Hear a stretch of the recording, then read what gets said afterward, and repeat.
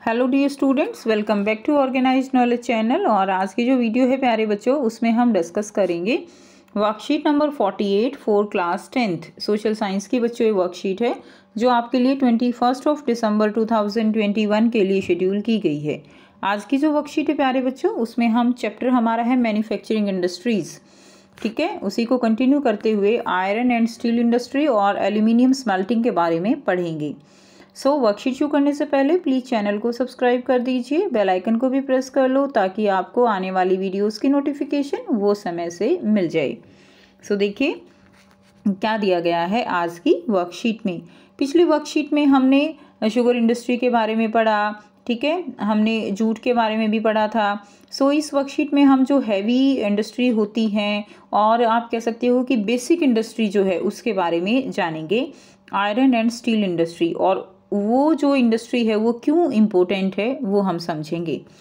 So iron and steel industry the iron and steel industry is the basic industry since all the other industries heavy medium and light depend on it for their machinery देखिए जो iron and steel industry है, इसको हम basic industry कहते हैं। क्यों कहा जाता है इसको बेसिक इंडस्ट्री क्योंकि बाकी जितनी भी इंडस्ट्री हैं, चाहे वो हैवी है मीडियम है लाइट है, कोई भी इंडस्ट्री है, उसमें छोटी मोटी मशीनों की ज़रूरत तो पड़ती ही है।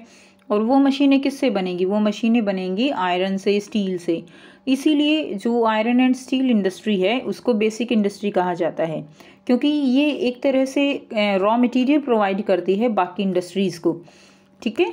तो इसीलिए आयरन एंड स्टील इंडस्ट्री वो एक बेसिक इंडस्ट्री है for the other industries now iron और and coking coal and limestone in the ratio four is to two is to one is required for this industry iron और जो है वो four part चाहिए coking coal जो है वो two part and one part चाहिए इसमें लाइमस्टोन इस इंडस्ट्री की ये रिक्वायरमेंट है। In the year 2016, with 95.6 million tons of steel production, India ranked third among the world crude steel producers. uh, 2016 में इंडिया ने लगभग nine ninety five point six million tons जो है स्टील का प्रोडक्शन किया था और uh, तीसरे नंबर पर था ये। ठीक है इसके अलावा लार्जेस्ट प्रोड्यूसर है ये स्पंज आयरन का। ठीक है? So, most of the public sector undertaking market their steel through Steel Authority of India Limited, जो आप कह सकते हो कि मोस्टली जो पब्लिक सेक्टर हैं, वो अपना जो स्टील है, उसको स्टील अथॉरिटी ऑफ़ इंडिया के जो है माध्यम से सेल करते हैं। क्लियर जिसको हम क्या कहते हैं? SAIL Steel Authority of India Limited तो इस ये जो है एक तरह से आप कह सकते हो स्टैंप मार्क है जो स्टील है उसको बेचने के लिए। उसके बाद है Chota Nagpur plateau region has the maximum concentration of iron and steel industries it is because Chota Nagpur plateau वहाँ पर मैक्सिमम कंसनट्रेशन है सबसे ज़्यादा लोहा और जो स्टील है वो आ, उसकी इंडस्ट्रीज़ हैं उसके कुछ कारण हैं।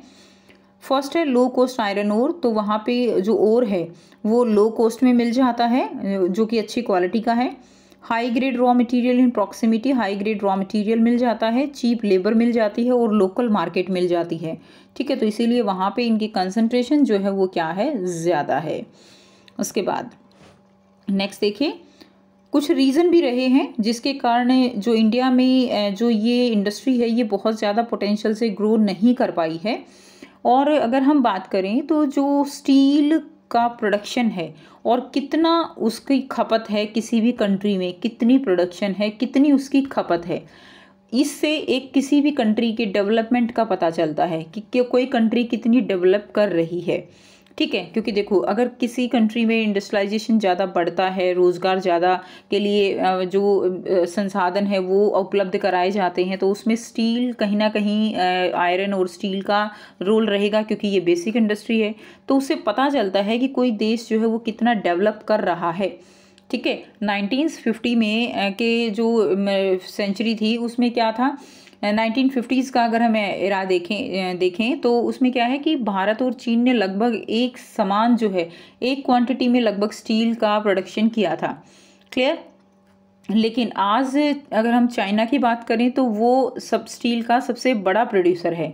जबकि अगर हम उसका जो कंज्यूम वाला अगर परसेंटेज देखें तो अगर स्टील की जो खपत देखें, वो भी चीन में सबसे ज़्यादा है। तो इसी तरह डेवलपमेंट भी चीन में सबसे ज़्यादा है। ठीक है ना? तो इस तरह से इसकी खपत और इसका प्रोडक्शन किसी भी देश का जो है, एक स्केल है उसके डेवलपमेंट का। नाउ अब रीज़न क्या रहे हैं, जिसके कारण जो स्टील इंडस्ट्री है, वो फुल पोटेंशियल इंडिया में डेवलप नहीं कर पाई। High cost and limited availability of cooking coal, ठीक है? कुकिंग कोल जो है हाई कोस्ट और उसके लिमिटेड अवेलेबिलिटी के कारण, lower productivity of labour labour जो है उनके लोअर प्रोडक्टिविटी के कारण, irregular supply of energy and poor infrastructure. इसके कारण जो है फुल पोटेंशियल से ये ग्रो नहीं कर पाई। अब हम बात करेंगे एल्यूमिनियम स्मेल्टिंग के बारे में।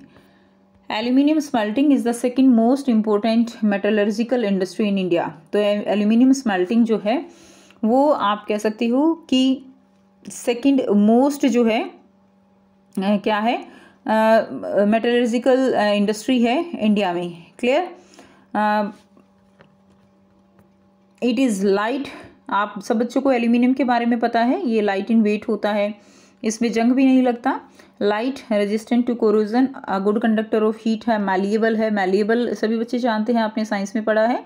कि इसको हम पीट कर जो है पतली पतली जो चादर होती हैं, शीट्स हैं, उनमें इसको कन्वर्ट किया जा सकता है and become strong when it is mixed with other metal और बहुत स्ट्रॉन्ग हो जाता है ये जब इसको दूसरी मेटल्स के साथ मिक्स कर दिया जाता है। Clear aluminium smelting plants in India are located in Odisha West Bengal Kerala Uttar Pradesh Chhattisgarh Maharashtra Tamil Nadu इन सब में ये जो है क्या है, मिलता है। ठीक है, यहाँ पर इसकी सबसे ज़्यादा आप कह सकते हो कि सबसे ज़्यादा जो कंसनट्रेशन है वो यहाँ पर इसकी मिलती है। और इसके यूज़ जो है हम देख सकते हैं कि एरोप्लेन बनाने में है यूटेंसिल्स बनते हैं वायर्स बनती हैं। तो और ये एक आप कह सकते हो कि विकल्प के रूप में भी इसका यूज़ किया जाता है। जो स्टील है उसकी जगह पे तांबा है, जिंक है, उसकी जगह पे भी इसका ज़्यादातर यूज़ जो है वो किया जाता है। Now two key need area for the establishment of this industry are that is the क्या रीज़न uh, है? क्लियर इसके आप कह सकते हो कि एल्यूमिनियम जो स्मेल्टिंग है उसके लिए भी इस मेन जो आप कह सकते हो कि नीड है इस इंडस्ट्री के लिए वो है अनइंटरप्टेड पावर सप्लाई यानी पावर सप्लाई वो लगातार चाहिए and availability of cheap raw material cheap raw material की अवेलेबिलिटी वो इम्पोर्टेंट है, ठीक है?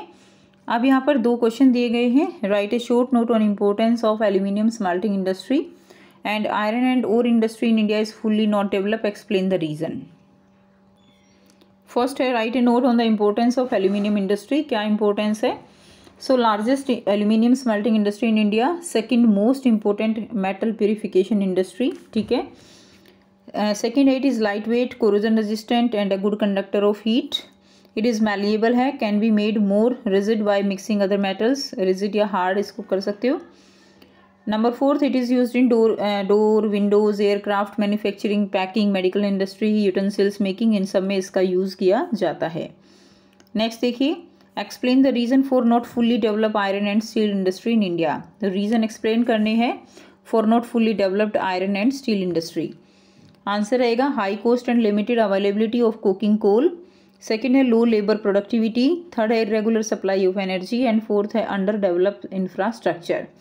तो ये इसमें आप रीज़न लिख देंगे। तो ये थी स्टूडेंट्स आपकी आज की बच्चों एसएसटी की वर्कशीट आई होप सभी स्टूडेंट्स को क्लियर है। कोई भी डाउट है तो आप पूछ सकते हो।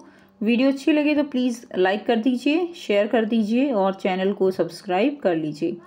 सो थैंक्स फॉर वॉचिंग मिलते हैं नेक्स्ट वीडियो में नेक्स्ट वर्कशीट के साथ take care students bye bye